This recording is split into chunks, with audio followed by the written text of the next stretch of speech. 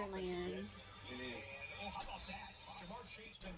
I actually was diagnosed with hyperemesis gravidarum, and I don't know if I'm saying that right, but, but it was the worst thing ever. Um, basically, you're sick um, uh, like every 10 minutes you puke. Lost 30 pounds twice, was in the hospital um, with IVs, and basically wanted, I was about to die, literally. My parents were down to force feed me all the time. Um, and this is when I was pregnant with little Shay. And um, I'm just glad he's safe and that he's healthy.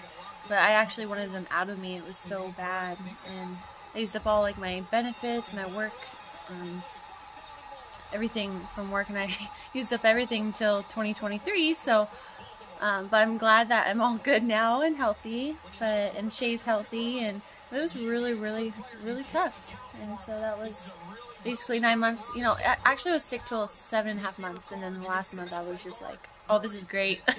I ate a lot. I was like 155 and then uh, I was down to 130 when I was sick with them, pregnant with them. And then after two weeks being all better, I gained, I went to the doctor's office and I started laughing because I weighed 186 pounds.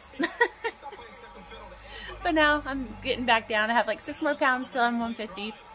And so that's my goal. So um, I'll be planning on working out for the new year. You know, today's just day two of the new year. So,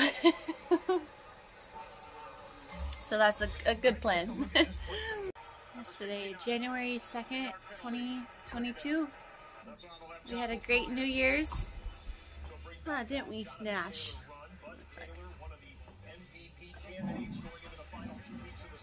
Doing it. So New Year's Eve. yeah. I know, right? Y'all are not excited. We're a bit tired. this is our New Year's Eve. I love it. It's so simple. Little Shay. Look at Shay. Maybe it's about to fall out. I love it.